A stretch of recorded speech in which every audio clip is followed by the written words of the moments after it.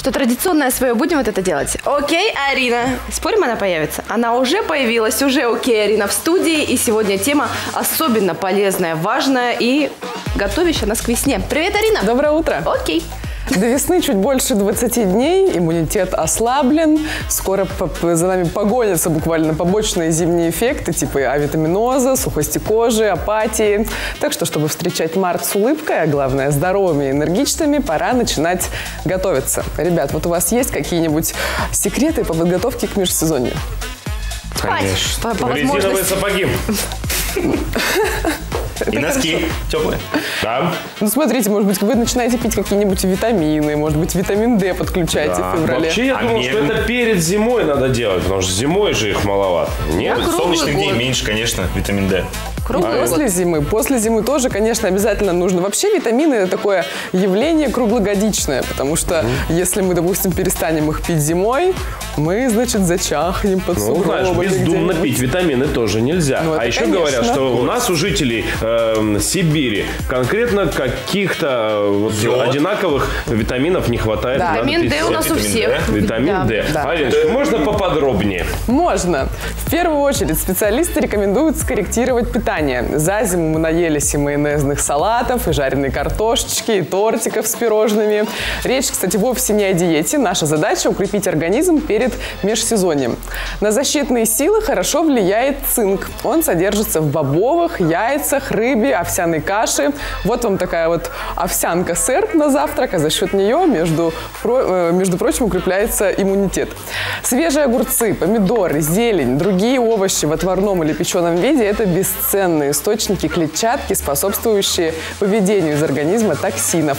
Кроме того, там содержатся витамины и минералы, необходимые для эффективной работы иммунной системы. Как раз то, что нам с вами сейчас и нужно.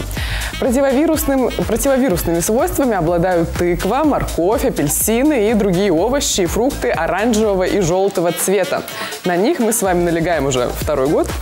Э, и, кстати, для сбалансированного рациона есть хорошая подсказка. Еда на столе должна быть разных цветов. Если у вас на столе часто бывают красные, желтые, оранжевые, зеленые, фиолетовые продукты, вы можете быть уверены, ваш организм в порядке, так как получает достаточное количество антиоксидантов. Вот у вас на столе какая, какой еды больше всего цвета? Какого Самое цвета? сложное запихнуть... Красненькое и беленькое. Зелененькое все запихнуть в членов семейства, которые, как правило, вот мужчины так вообще попробуй заставить съесть Что? шпинат или что-нибудь брокколи. брокколи. Знаешь, э, Екатерина, если э, человек голодный... Если со стейком, то брокколи. Кстати, я... да, вот э, стручковая фасоль, брокколи очень хорошо идет с мясом. Я очень да. С мясом, вот, с мя.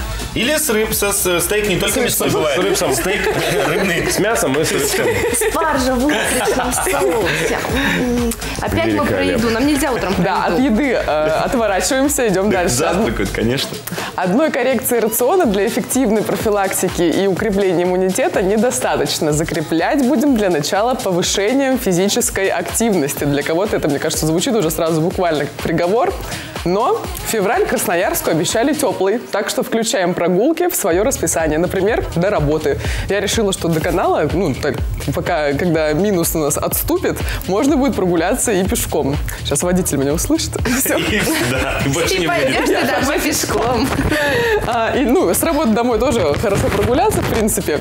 А разогнать кровь вообще полезно, особенно если работа сидячая.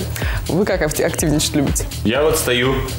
Это, это отлично. Это уже активность. Это уже разгонка крови, да? Да, начинается телефон поднимаю регулярно, вот в стороны размахиваю. Февраль вообще период, когда нужно возвращаться к витаминам, как я уже сказала, и к добавкам. Как правило, сибирякам не хватает витамина D и йода. И еще один пунктик по укреплению иммунитета – это чистота. Чистота и свежий воздух – совсем неудобная среда для существования вирусов. Но чистота не стерильность. Стерильности быть не должно, особенно когда это маленькие дети. Если они в стерильности, им, наоборот, потом сложнее справиться с любыми инфекциями. Должны тренироваться. Ну, кто там стерилиза- стерилизовать будет квартиры тебе? Арин, а... Программа проверка у нас началась. Да.